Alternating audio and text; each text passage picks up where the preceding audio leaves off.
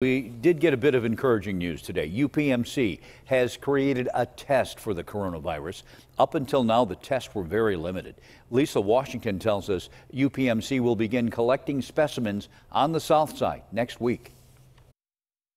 It took 10 days for UPMC researchers and physicians to develop the test.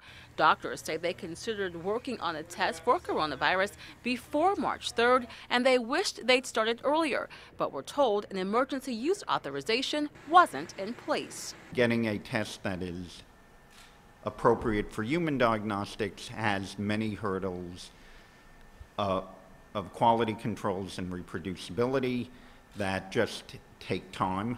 The test, which follows guidelines from the CDC, will be used to diagnose symptomatic cases of COVID 19.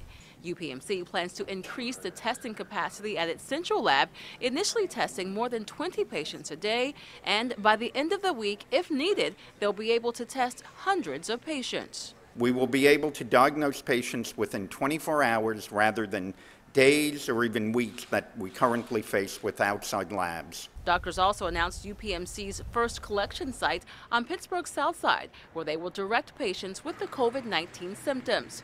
KDKA toured that site with UPMC doctors. It will open on Tuesday, but it's not open to the general public. You have to have been evaluated by a physician, have not only concern about it, but symptoms, and be approved by a UPMC infection prevention specialist. Cannot come here walk up. There are plans to open additional collection sites in Harrisburg, Erie, Williamsport, and Altoona. Lisa Washington, KDKA News.